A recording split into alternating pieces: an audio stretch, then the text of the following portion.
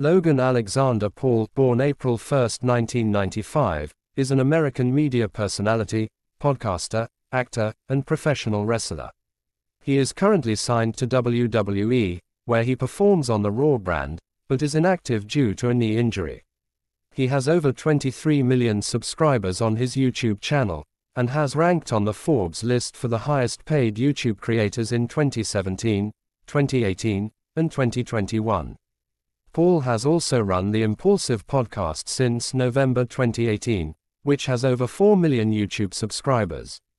Paul gained a following in 2013, posting sketches on the video sharing application Vine.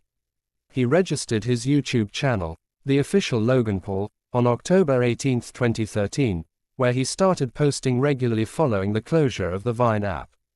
He later created the Logan Paul Vlogs channel on August 29, 2015, which has since become his most subscribed YouTube channel.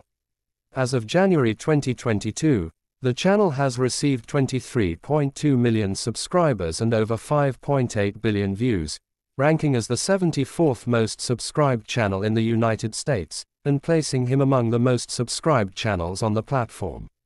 As an actor, Paul's television and film work includes guest appearances on Law and Order, Special Victims Unit and Bizaardvark, and roles in films The Thinning 2016 and The Thinning New World Order 2018. He has also explored other avenues. He released his debut single, 2016, in 2016, and fought English media personality KSI in an amateur white collar boxing match in 2018.